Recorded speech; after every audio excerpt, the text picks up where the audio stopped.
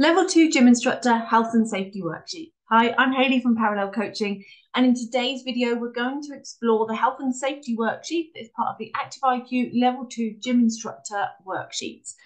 This is a particular question that people get stuck on a lot when they're completing it.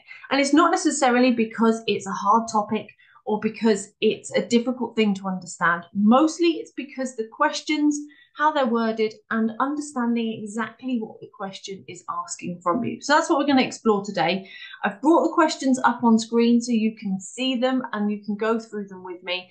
And this is going to really help you know exactly what to put in those boxes so that you can confidently pass your worksheets. As part of this um, worksheet that you need to do as part of the Active IQ Health and Safety section, there is a series of questions before this whereby you answer those as one or two mark answers. But then at the very back of that worksheet is this section whereby it's assignments. And this is where people get stuck. And this is because it's asking you to apply your knowledge. It's asking you to basically explain what you can see in some real life scenarios and apply the knowledge that you've had from the theoretical knowledge of the from your manual or from the worksheets and then use that here in a vocational situation. So it's based on being in the gym environment. So as we go through this, there are four tasks and you can see them on screen. Um, and these four tasks, as you go through them, are really simply laid out. But let's look at each one individually. The very first task you can see here is about identifying four hazards in the gym. Now, here you can see an image whereby someone is moving inside the gym and there's lots of hazards around the area. Your job is to circle these hazards. This bit's quite straightforward. You can see that somebody is leaning forward in potentially an unsafe position. You've then got the glass of water on the bench. You've got obstacles on the floor in terms of dumbbells and jumpers, and you've also got trailing wires. So these are the four hazards that you need to circle in order to show that you understand what hazards are. But it's task two that often people find the hardest. And for this, you need to understand the five stages of a risk assessment. Now, these are detailed inside your manual. So you might have a physical manual or an online manual or some e-learning that you're using. However, you've been given the information and the knowledge about health and safety, this is where you're going to find the answer. So you're looking for the five stages of a risk assessment. And this goes down on that first column. So you'll see on screen there is a first column here where my icon, where my cursor is. And this is basically a list of five items that are the first or the five stages of a risk assessment. And this is generic. So the first one is to identify hazards. The second is to decide who might be harmed. The third is to evaluate the risks and decide on what you need to do. The fourth is to record the findings and then implement them. And the fifth is to review the assessment and update as required. So they're the five stages, and you do that with any risk assessment that you're doing in a gym environment. But then on the next column, you need to apply that to a, re a relationship to a hazard, which is inside the image that you've already circled. So, for example, you might pick trailing wires. That would then go next to on the next column. So you can see relationship to the hazard, what are the five stages. So you take it through a risk assessment through the five stages based on one hazard. So if my hazard is trailing wires, for example, I would write that in the top right hand box on the right hand column. So it says step one is identify hazard, relationship to the hazard, I would write trailing wires. Then the second one down is about deciding who might be harmed. That's going to be clients or staff. Then the third one is about evaluating risks. So you're going to say what might happen here if somebody could slip, trip, or fall over the wires. And then also you're deciding on the precautions, so about tidying away the wires or giving a different alternative to getting power to that particular area. Then the fourth section is about recording findings. So here it's recording it on a um, checklist for the gym and telling the duty manager so that they can put a system in place to remove those wires. And then also review the assessment. The fifth step is going to be about um, how you regularly check. Maybe it's about gym walks and regularly going around the gym to check that there are no more wires in place. So it might feel a little bit like you're repeating yourself, but essentially it's asking you what are the five stages that goes in the first column. Then the second column is relating that to something from the image, and you just take one all the way through it.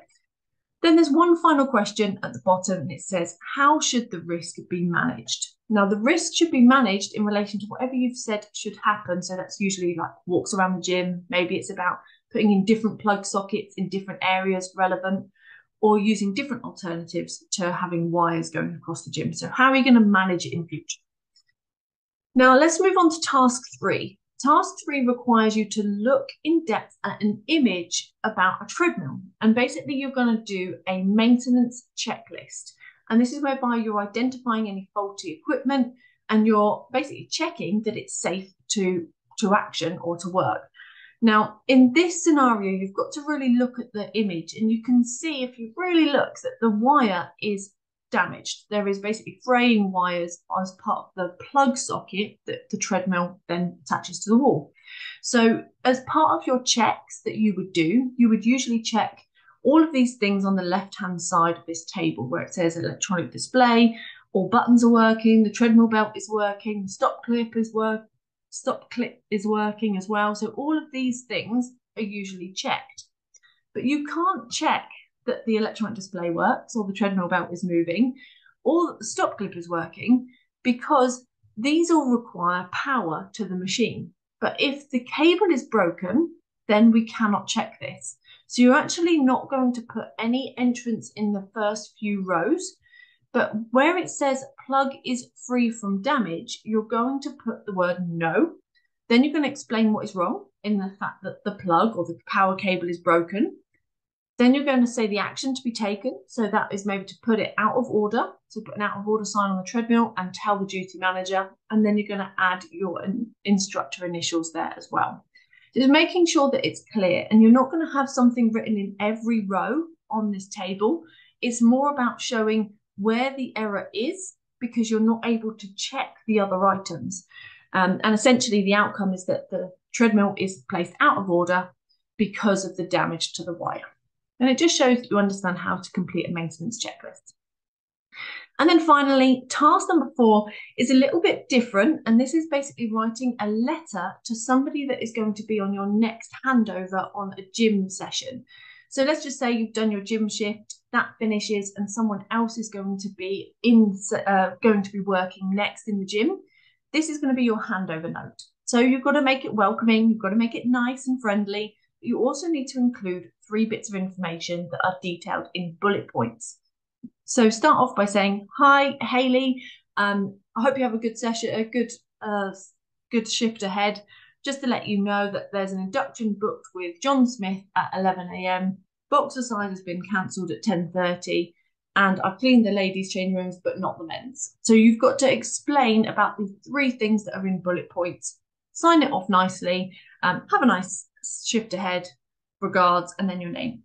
Um, so it's just about showing that you understand how to communicate effectively and that you can proceed down information and send it on to somebody as a handover.